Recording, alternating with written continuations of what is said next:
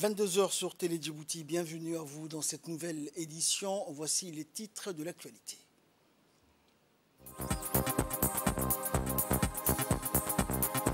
Le ministre de la Santé a inspecté les dispositifs de contrôle et de surveillance concernant la pandémie de la Covid-19. Et en Angola, un groupe de travail a été mis sur pied pour rédiger une loi anti-plastique. Voilà pour les titres. Euh, bonsoir à tous. Le ministre de la Santé, Dr Ahmed Roblé Abdillah, a convoqué hier une réunion de travail avec les membres du comité scientifique pour le suivi de la Covid-19 dans le cadre d'un échange sur les nouvelles recrudescences du coronavirus dans le monde. Composé d'experts nationaux multidisciplinaires, le comité scientifique a donc débattu en présence du secrétaire général du ministère de la Santé, du conseil du président euh, concernant la santé et de plusieurs hauts cadres du ministère. Et le ministre a remercié les membres du comité scientifique pour avoir répondu à son invitation et a souligné la pertinence et la qualité du travail de ce comité lors de la dernière riposte contre la pandémie de la Covid-19 à Djibouti.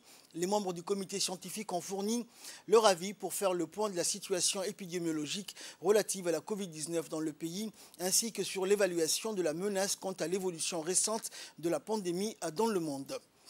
Et après la réunion avec le comité scientifique, le ministre de la Santé a procédé à l'inspection des dispositifs de contrôle et de surveillance contre la Covid-19 au point d'entrée de notre pays en effet, le ministre, accompagné des hauts cadres de son département et du comité scientifique, a effectué un tour d'horizon à l'aéroport international de Djibouti et les ports de Djibouti pour s'enquérir du bon fonctionnement des dispositifs de contrôle mis en place pour surveiller les voyageurs à l'arrivée et au départ de notre pays.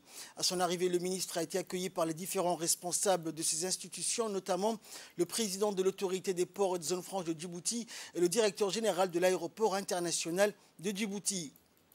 Le ministre a pu constater que les mesures de contrôle et les procédures étaient scrupuleusement respectées au point d'entrée.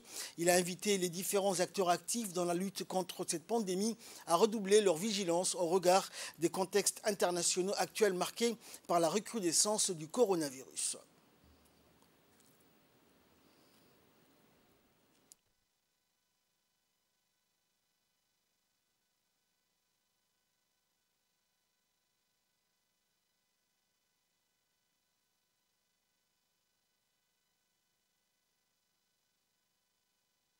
Euh, suite à la réunion du comité scientifique euh, en charge euh, de la préparation et de la riposte du Covid-19. Donc nous avons eu cette réunion portant sur la veille sanitaire, premièrement.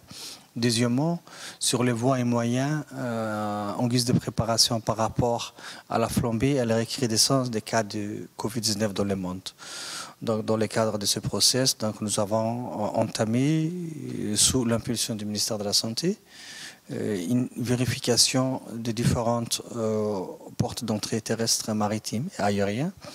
Les activités ont démarré donc au niveau aérien avec vérification des activités qui se passent au niveau de l'aéroport dont le point fort était euh, la mise en œuvre et le respect du décret présidentiel et en outre la demande et surtout la vérification de la vaccination à l'entrée ou PCR inférieur à 112 heures à l'entrée du pays et le respect des exigences des pays de destination et surtout la vaccination à la sortie du pays.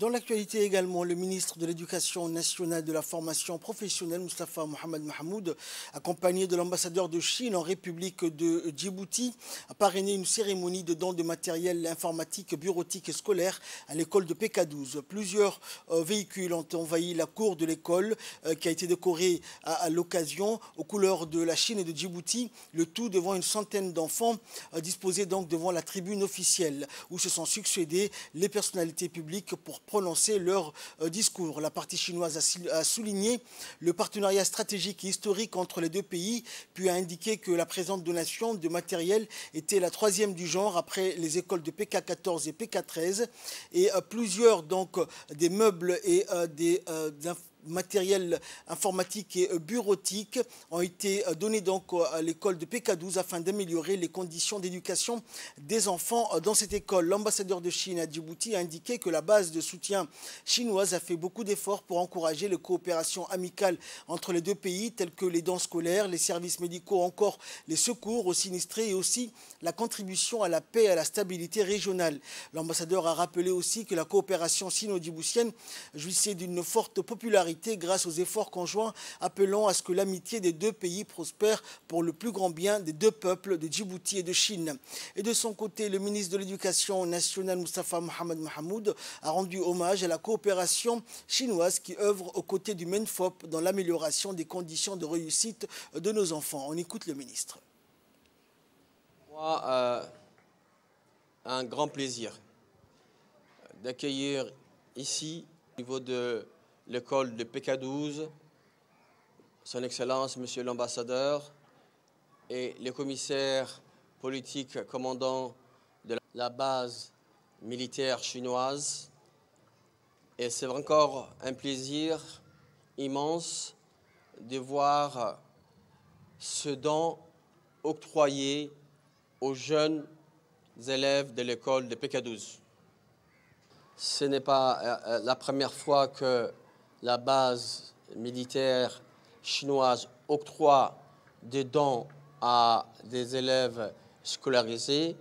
C'est la troisième fois. La dernière fois, c'était bien sûr l'école de PK 14, PK 13, et aujourd'hui, c'est l'école des PK 12. Il s'agit également des photocopieuses, des ordinateurs, et vraiment, euh, j'en suis convaincu que cela va encore améliorer plus le bon fonctionnement de cet établissement. Une vision visionnaire de la part du président euh, chinois. Et donc, Djibouti offre aux Chinois et donc au gouvernement chinois ce qu'il a de meilleur en lui. Et les Chinois, bien sûr, offrent aux Djiboutiens ce qu'il y a également de meilleur en eux. Dans la vision du président de la République, il s'agit d'une vision, bien sûr, sur euh, le futur. Et cette vision, bien sûr, s'agit d'investir sur l'éducation. Et vous avez très bien compris, en essayant d'appuyer, d'accompagner Djibouti en matière d'éducation, c'est à travers l'éducation que Djibouti pourra également faire partie des pays des grands. Pour vous remercier, remercier donc euh, la, la base chinoise, remercier son Excellence, Monsieur l'ambassadeur, pour tout l'appui et tout l'accompagnement qu'il fait euh, de, de, Djibouti, mais particulièrement de, de l'éducation, mais également les autres, les, les autres départements. Je remercie euh, les organisateurs de cet événement, et notamment les responsables de, de la base euh, chinoise et les équipes de, de l'école et donc du ministère de l'Éducation nationale. Ça va faire la joie des enfants, et ça, c'est le plus important.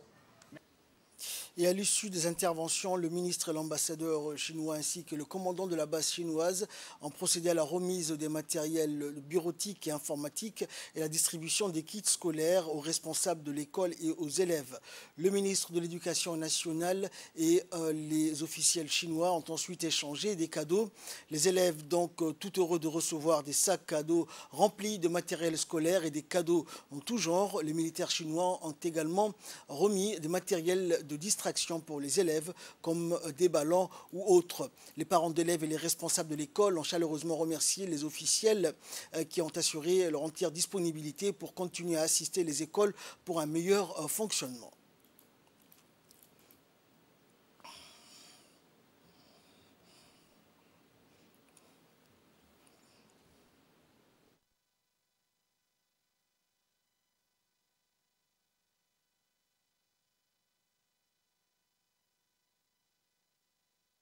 Halkan maanta dugsiga bekaduus waxaa la iskugu yimiday qalab waxbarasha oo loogu talagalay dugsigan hoose bekaduus qalabkaas oo ka koobnaa aaladahan informatiga primordial kuraasi qalab badan ay ardayda wax ku bartaan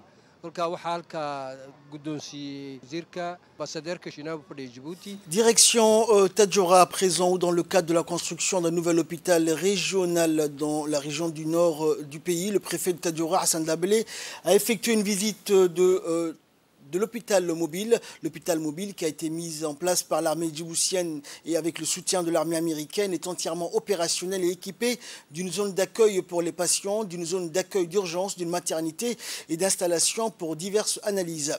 Le préfet Tadjoura a été impressionné par les capacités de l'hôpital mobile et a salué le travail des armées djiboutiennes et américaines pour sa mise en place. Il a également exprimé son appréciation pour les efforts du personnel médical travaillant dans l'établissement qui fournit des euh, services de soins de santé essentiels à la population.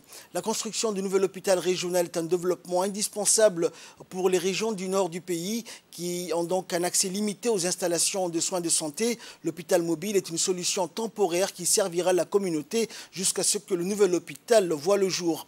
Le médecin-chef euh, du CMH de Tadjoura, Dr Dimbio, a souligné que cette structure mobile temporaire est opérationnelle et équipée d'un service d'urgence, des orientations des malades ainsi que la maternité et les analyses sanguines. La capacité étant limitée, la priorité a été donnée aux patientes et patients présentant des pathologies urgentes du nouveau hôpital régional euh, de la région nord. Le CMH a été détruit, donc en attendant, nous avons essayé de mettre en place une structure d'accueil pour les malades. Donc, euh, euh, comme vous pouvez le voir, cette structure a été mise en place par l'armée djiboutienne avec l'appui de l'armée américaine. Et maintenant, juste pour dire que cette structure est opérationnelle. Et voilà, nous faisons les accueils des urgences, euh, les orientations des patients, nous faisons la maternité et tout ce qui est les analyses sanguines. Mais la capacité d'accueil n'est pas très très importante, c'est très très limité. Donc nous faisons que les patients qui, sont, qui ont des pathologies urgentes. Les autres patients, nous faisons des traitements ambulatoires et tout ce qu'on ne peut pas gérer, on essaie de transférer à Djibouti. Donc juste pour dire que l'hôpital est opérationnel et nous remercions toutes personnes qui ont collaboré de près ou de loin pour la réalisation de ces centres. En nouvelle du monde à présent, l'Angola forme un groupe de travail pour rédiger une loi anti-plastique. Le président angolais Joao Lorenzo veut lutter contre la pollution et pour cela, il a formé un groupe de travail chargé de rédiger un plan national d'interdiction du plastique. Dans un décret présidentiel rendu public par le journal de Angola, Joao Lorenzo a expliqué qu'il existe des niveaux inquiétants de pollution résultant de l'utilisation de plastique en général. Le texte précise que le groupe de travail sera dans un premier temps chargé de réaliser un diagnostic national pour mesurer l'état de la pollution dans le pays. L'année 2022 a été le signe de l'urgence climatique et le plastique est l'un des éléments les plus dévastateurs pour l'environnement. En Angola, 12,4 millions de sacs en plastique sont distribués gratuitement chaque jour dans les échanges commerciaux, a indiqué le chef de l'Agence nationale des déchets solides. L'Angola dispose également d'un quai littoral euh, s'étend euh, sur 1600 km. La pollution plastique constitue une réelle menace pour les écosystèmes aquatiques Selon les Nations Unies, plus de 800 espèces marines et côtières sont touchées par la pollution plastique par ingestion ou enchevêtrement, tandis qu'environ 11 millions de tonnes de déchets plastiques se déversent dans l'océan chaque année. L'ONU prévient que ce chiffre pourrait tripler d'ici 2040. C'est la fin de cette édition. Merci à vous de nous avoir suivis.